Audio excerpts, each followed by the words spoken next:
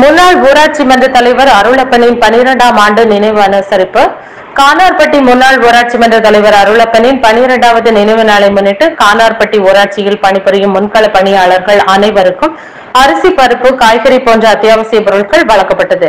இந்நிகழ்வில் கங்கை கொண்டான் ஊராட்சி மன்ற தலைவர் அருள்மணி நெல்லை மாவட்ட திமுக பிரதிநிதி தொப்பி மைதீன் மற்றும் தெற்குப்பட்டி கனி குழந்தை இயேசு போத்தி கண்ணு ஜேக்கப் தம்பித்துறை பால்பாண்டி ஆகியோர் கலந்து கொண்டனர். நிகழ்ச்சிக்கான ஏற்பாடுகளை மானூர் ஒன்றியம் கானார்பட்டி முன்னாள் ஊராட்சி மன்ற தலைவர் ஜெயச்சந்திரன் சிறப்பாக செய்திருந்தார்.